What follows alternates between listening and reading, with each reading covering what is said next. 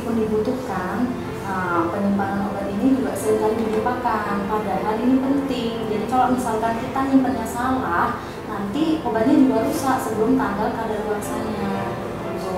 jadi untuk menyimpan obat ini kita harus pilih obatnya menjadi dua kelompok. Yang satu obat dalam, yang satu obat luar.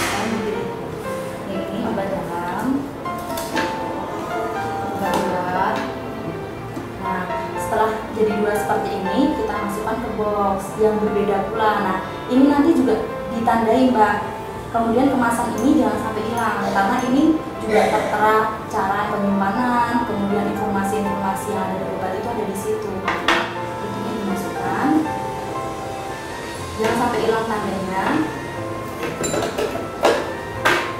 Nah, kalau sudah ditutup rapat, nah kalau sudah ditutup rapat seperti ini, jauhkan dari sinar matahari, jauhkan juga jangkauan anak-anak. Nanti kalau ngambil sembarangan, nanti bisa bahaya juga.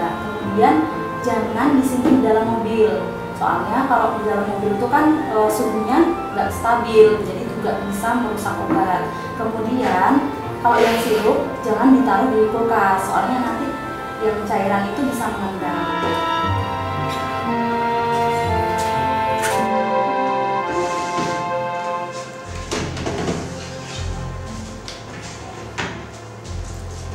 Jangan lupa